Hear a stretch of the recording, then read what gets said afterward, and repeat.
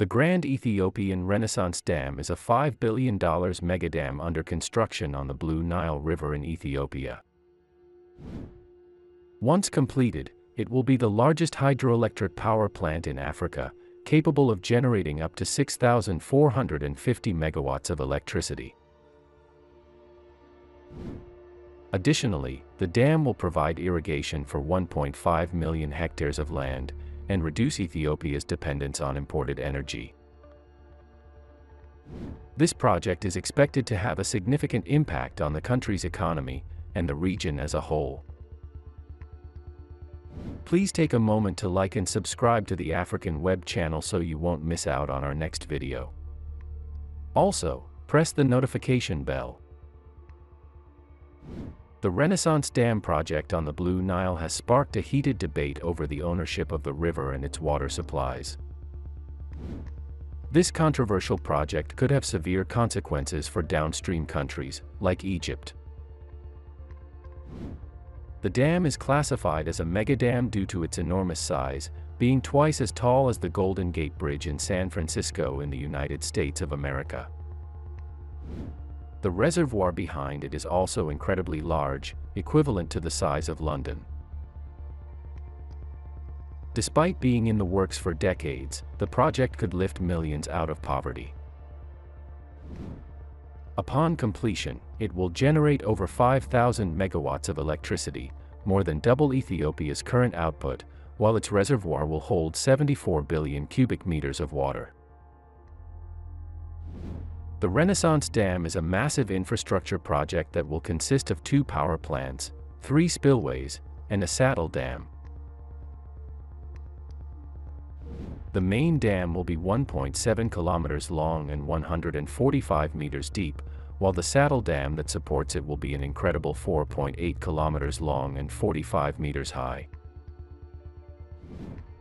The entire structure will be built using 10 million cubic meters of roller compacted concrete. Given the dam's immense size, it's likely that special on-site concrete batching plants have been set up near the work site to increase efficiency and maintain better control over the delivery of materials, which is crucial for large-scale concrete pours.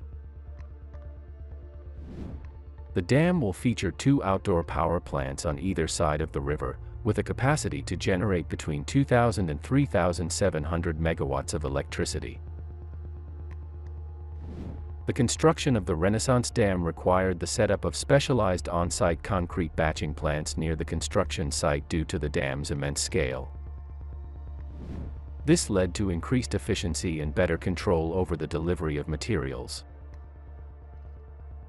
However, there is a heated dispute over the ownership of the Nile and its water since the dam is being built on the Blue Nile, which is only 30 kilometers upstream from the Sudanese border. Egypt is located downstream and is almost entirely constructed around the Nile. Around 95% of the population of the country resides within a few kilometers of the well-known river, and a staggering 85% of the nation's water comes from this source.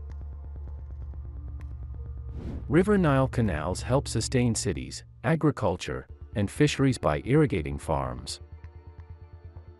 Additionally, the Nile has been sustaining this desert region for thousands of years. If the water source were to be compromised in any way, it could have serious consequences. Ethiopia views the mega dam as an essential step towards alleviating poverty, as half of its population currently lacks access to electricity, and it has already achieved significant economic growth through infrastructure investment.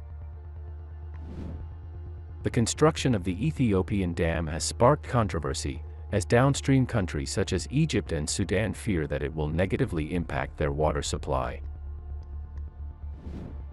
Ethiopia, on the other hand, argues that the benefits of the dam exceed any potential harm to downstream countries.